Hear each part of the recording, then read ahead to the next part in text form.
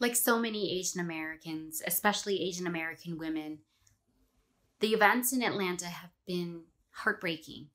And I found the past few days I've been overwhelmed with grief, worry, fear, and anger to the point that it almost makes me physically sick and I feel emotionally paralyzed.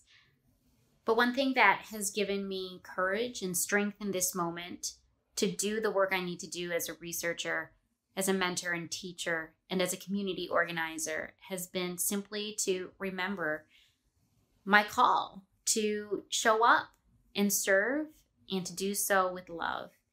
And I found that that commitment to love my community, to love my Asian American neighbors, has been really powerful as a way for me to find the strength to carry on.